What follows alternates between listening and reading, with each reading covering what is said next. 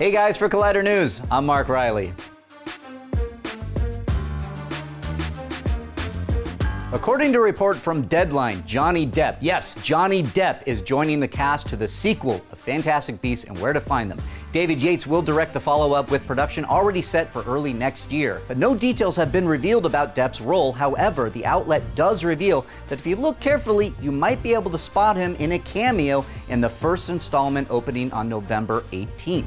All right, so is anybody surprised that Johnny Depp is playing a wizard, maybe in Fantastic Beasts and Where to Find Him in the sequel? So Deadline has no info on what he's playing, but my money, he's a wizard, and we're gonna see his character and meet his character via a small cameo in Fantastic Beasts and Where to Find Them. And Johnny Depp, it's perfect. He's known for his outlandish roles, like the Mad Hatter, like Jack Sparrow in Pirates of the Caribbean, so this makes perfect sense. So it'll be interesting to see what he is going to play and who he is playing when we get that tiny little cameo in Fantastic Beasts, which is opening on November 18th. For all the latest on Fantastic Beasts and where to find them, head on over to Collider.com and be sure to subscribe to the Collider Videos YouTube channel to keep up with all the must know movie news.